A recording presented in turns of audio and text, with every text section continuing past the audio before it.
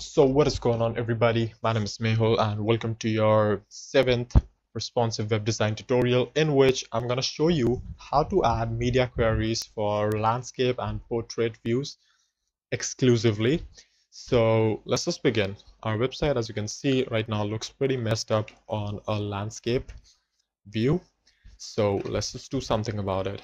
So what I'm gonna do is uh, I'm gonna create another media query for 720 and I'm gonna say on maximum width 720 and orientation. Orientation is landscape as simple as that. So now we are only gonna target devices which are in landscape view right? So and uh, I think it will not work with these iframes so essentially, we're going to make use of the actual device toggler provided by this guy right here. Right, so if I do like uh, display body display none, yeah, that works. Okay, perfectly fine. So if I get rid of this, reload, you can see it is messed up. So in the landscape, you can see that we have got more width, but less height. So we cannot afford to have these elements right here. So I'm just gonna get rid of language group at all. And uh, we need to position this appropriately as well. So um, we have this welcome again. Yeah I have messed it up again. So what we can do is top 50% margin top 0 and uh, we can say transform translate y minus 50% but uh, it is just touching that so I do not want that. So my header which is um, it is around 77 pixels roughly with the logo size. So what we can do is say plus 77 pixel and just wrap it inside calc. Yeah, looks pretty good. But we have again this overwriting sort of thing. So we can again get rid of this at all.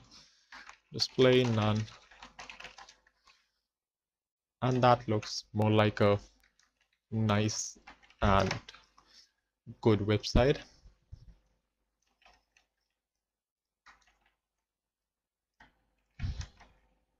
I don't know if it will work here. Yeah, it probably didn't. Or did it? I guess it did. Oh.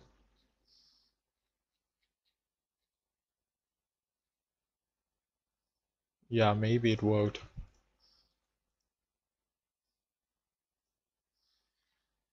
So anyhow, we have problem with iPhone 6 now, so iPhone 6. This looks good. Then what's happening here? Plumb. Yeah, this one looks a little bit messed up. So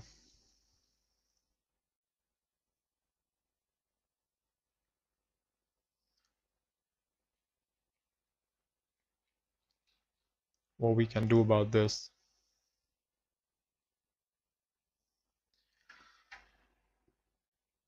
well it's 736 is just about 720 so we can rather just make it to 736 only. That doesn't really matter. And we'll get a fixed website right? So that should be it. And uh, we are um, doing a lot of spacing here. So let's just bring it down a little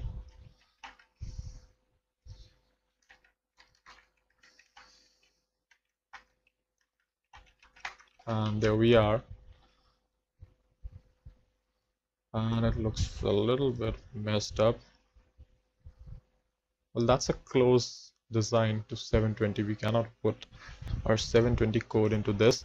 So apparently you could even create some media queries to actually specifically target these sort of devices the more famous ones like you start off with apple devices then you move on to some famous samsung devices then nexus and uh, you know then some generic device sizes like 720 480 and all that stuff.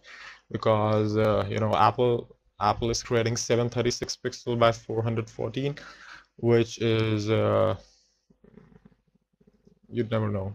It's a sort of strange number to do.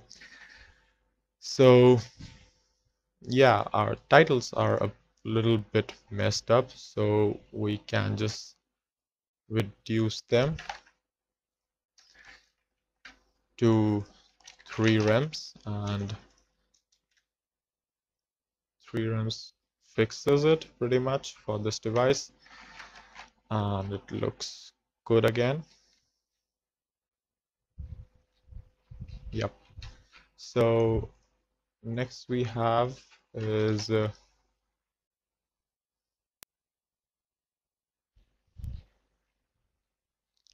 iPads and all that stuff. And I think we pretty much made it. Again there might be some devices where it would not be as good as it should be but mostly we are pretty much covered right? So yeah that is all for this tutorial. And finally finally in the next one we're gonna set up some viewports and uh, we'll actually test on a real device as well.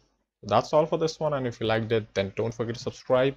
And thank you for watching. And by the way I've almost forgot to tell you in every tutorial that I have come up with a new form the codedamn form right? It's a community of programmers like you only and I need your support and help to uh, make it grow. And together we can do it. And uh, I'll be hyperactive there would be supporting all of your queries from I don't uh, uh, get a lot of time to interact with you guys on YouTube's comment section um, because kind of YouTube doesn't always inform me about all the comments. It sorts of uh, marks a lot of useful comments as spam as well because you guys mostly post links to um, jQuery scripting and uh, write some HTML. So YouTube, uh, the audience is sort of not um, programming minded type. So we need a different place sort of out of YouTube to move our tasks. And this is the form I have been working for past two days. And uh, I have created some forms here and please make sure you can you contribute to the form or provide any suggestions by going into this journal discussions tab and creating a new topic or um, you know doing going in any other form and posting any relevant content you have or any query any question anything you have made to share with the community. And uh, again there's a little thing you need to do. You need to create a free account just agree to the terms um, put all the information and get started. That's that's pretty much it for you to come for you to join the community. And these are some recent posts the latest post.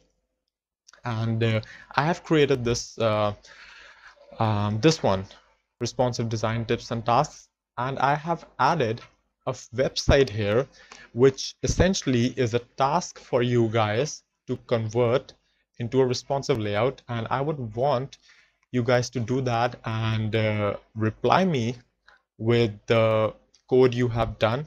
You can attach files here as well.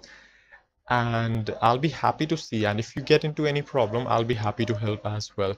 So yeah let's just begin our community with this responsive way right? So that we can grow and uh, help other programmers as well who are um, struggling or maybe just want to grow or learn from other people like you.